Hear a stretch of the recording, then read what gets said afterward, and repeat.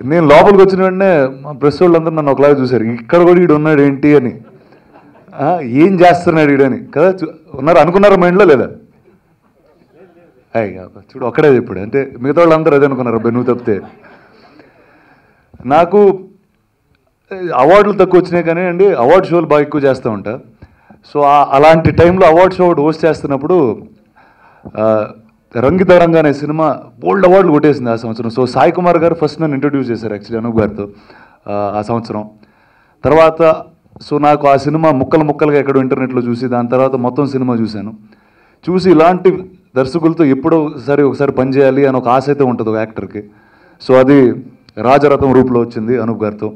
So sir as much you have to thank me I have to thank you sir I'm very very excited to be part of film like this so ఈ సినిమాలో నేను కనిపించాను కానీ వినిపిస్తూ ఉంటా.